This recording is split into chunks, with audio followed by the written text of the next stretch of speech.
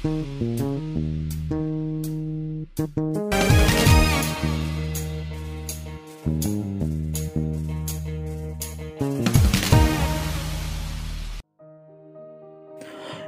বন্ধুসকল আপোনালোক স্বাগতম জনাইছোঁ আমাৰ চেনেল এডুকেশ্যন চাটলৈ আজি আমি কথা পাতিম কে কে হেণ্ডিক অৰ্থাৎ কৃষ্ণকান্ত সন্দিকৈ ষ্টেট অ'পেন ইউনিভাৰ্চিটিৰ এডমিশ্যন সম্পৰ্কে। হয় বন্ধুসকল কে কে হেণ্ডিক এক ষ্টেট অ'পেন ইউনিভাৰ্চিটিৰ এডমিশ্যন দিন বঢ়াই দিয়া হৈছে ত্ৰিছ ডিচেম্বৰলৈকে থাকিব।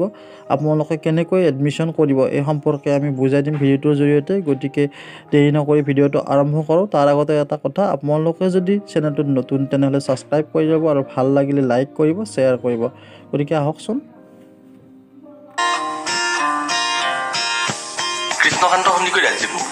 বিশ্ববিদ্যালয়লৈ আপোনাক স্বাগতম জনাইছোঁ।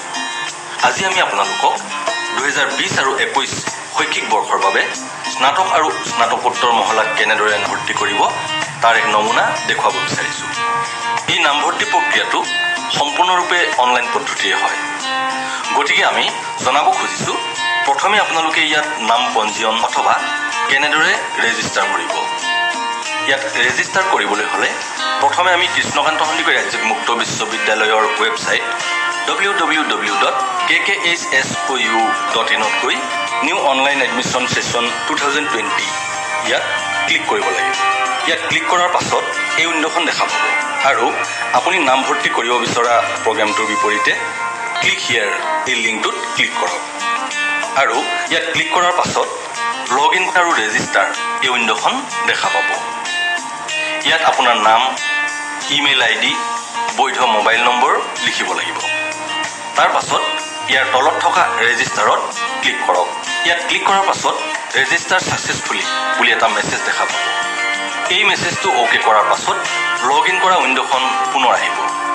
আৰু তাত আপুনি ইমেইল আই ডি বা ফোন নম্বৰ আৰু পাছৱৰ্ড দিয়াৰ পাছত তাৰ তলতে যিকেইটা ইংৰাজী আখৰ দেখা পাব এই আখৰ বা সংখ্যাকেইটা তলৰ এণ্টাৰ কেপচা বুলি লিখা ঘৰটোত লিখি লগ ইন ক্লিক কৰিলেই আন এখন উইণ্ড' দেখা পাব। ইয়াত আপুনি দেখা ধৰণে পাৰ্চনেল ডিটেইলছ কোৰ্চ ডিটেইলছ ইত্যাদি পৰ্যায়বিলাক দেখা পাব। এই অনলাইন প্ৰপত্ৰখন পূৰণ কৰিবলৈ হ'লে ইয়াৰ ৰঙা ৰঙৰ ষ্টাৰ মাৰ্ক থকা ঘৰকেইটা পূৰোৱাটো বাধ্যতামূলক।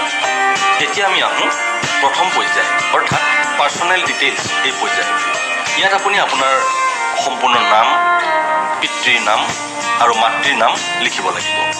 দ্বিতীয় পৰ্যায়ত আপোনাৰ বৰ্তমান ঠিকনা পিন নম্বৰ মোবাইল নম্বৰ আৰু ইমেইল আই ডি লিখিব লাগিব। পৰৱৰ্তী পৰ্যায়ত আপোনাৰ স্থায়ী ঠিকনা আৰু পিন কোড লিখিব লাগিব। কিন্তু যদিহে আপোনাৰ ঠিকনা একেটাই হয় তেনেহ'লে ছেম ইজ বুলি লিখা বস্তুত তাৰ পৰৱৰ্তী পৰ্যায়ত আপোনাৰ জন্মৰ তাৰিখ লিংগ আপুনি বিবাহিত নে অবিবাহিত ইত্যাদি উল্লেখ কৰিব লাগিব। তাৰ পাছত আপুনি আপোনাৰ ধৰ্ম জাতি অথবা আপুনি বিশেষভাৱে সক্ষম ব্যক্তি নেকি নাগৰিকত্ব আৰু আধাৰ নম্বৰ পেন নম্বৰ যদিহে আছে উল্লেখ কৰিব আৰু এমপ্লয়ী টাইপ উল্লেখ কৰিব। ইয়াৰ পাছত ছেভ এণ্ড কণ্টিনিউ বুলি থকা বক্সত ক্লিক কৰিলেই আন এখন উইণ্ড' পাব। আৰু আনখন উইণ্ড'ত পাৰ্চনেল ডিটেইলছ এণ্টাৰ ছাকচেছফুলি বুলি দেখা যাব। তাত আপুনি অ'কে এই বক্সটোত ক্লিক কৰিলেই কোৰ্চ ডিটেইলছ উইণ্ড'খন দেখা পাব।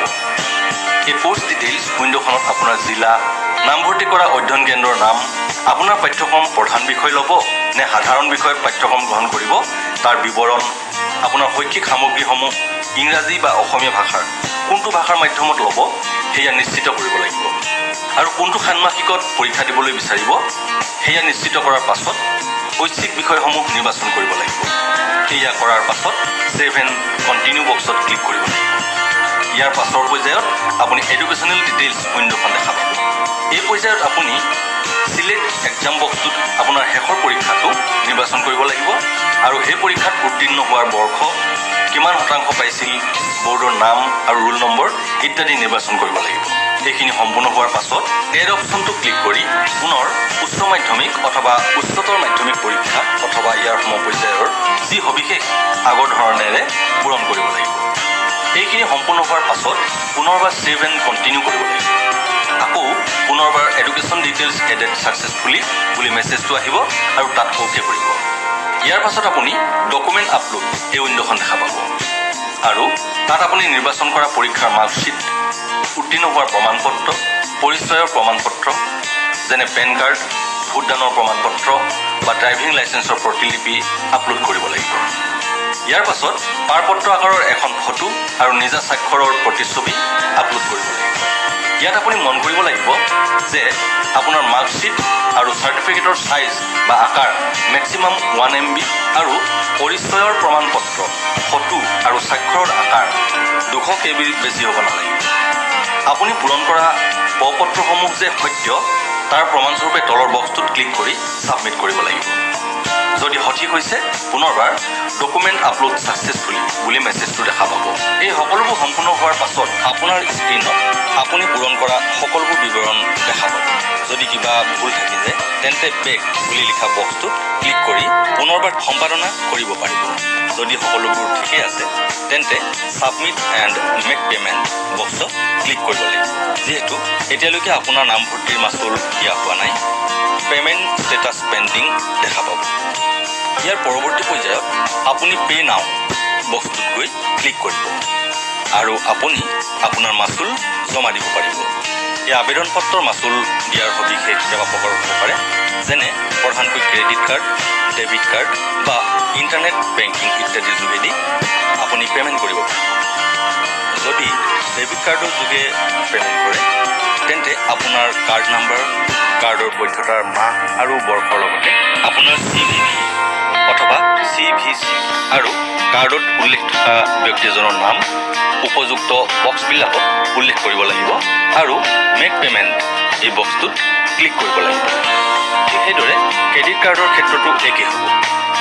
ইণ্টাৰনেট বেংকিঙৰ ক্ষেত্ৰতো আপুনি আপোনাৰ বক্সটোত চিলেক্ট কৰি মেক পে'মেণ্ট কৰি বাকীখিনি পৰ্যায় পূৰণ কৰি গ'লেই হ'ব।